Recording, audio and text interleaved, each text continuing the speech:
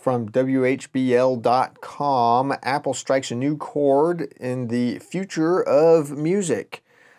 More than a decade ago, the late Steve Jobs pulled one of his trademark reality distorting maneuvers, browbeating music label executives into selling songs on Apple's then nascent iTunes digital store for a mere 99 cents apiece. Now the tables have turned, and it's Apple that is being forced into a deal that is far from a surefire winner. The iPod and iPhone maker is expected to announce as early as this week a $3.2 billion agreement to buy Beats Electronics the music streaming service and headphone maker founded by legendary music producer Jimmy Iovine and rapper Dr. Dre, according to three sources familiar with Apple's thinking.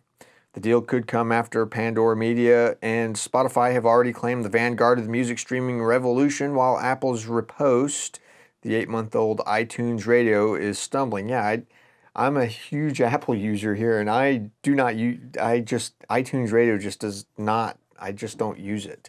Uh, Spotify, yes. Pandora, absolutely. Um, but no. So, uh, at any rate, Apple's about two years late behind Spotify, said David Pakman, a digital music investor with Venrock Capital and a co creator of Apple's music group.